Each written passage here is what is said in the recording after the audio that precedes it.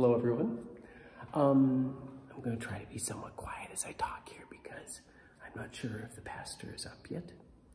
Um, but I've been busy doing some, I, I posted a picture about these fluorescent bulbs, changing them to LED bulbs. And this may not be relevant to anyone, but sometimes I do these videos because I'm not still got back into the music to be able to share stuff there. I really want to very soon. That's going to be on the works these next, next bit here.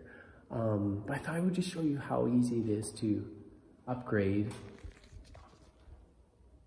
the fixtures. That's got the new LED bulbs. So does that one. And those are the old fluorescents. And uh,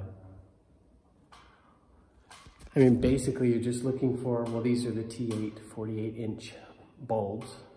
And uh, you have to just do some rewiring in the fixture because the new bulbs, the new LEDs have a ballast built right in from what I understand.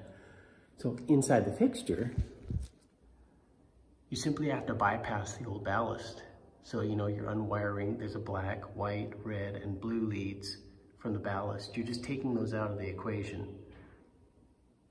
And then you're going from the neutral line white and black.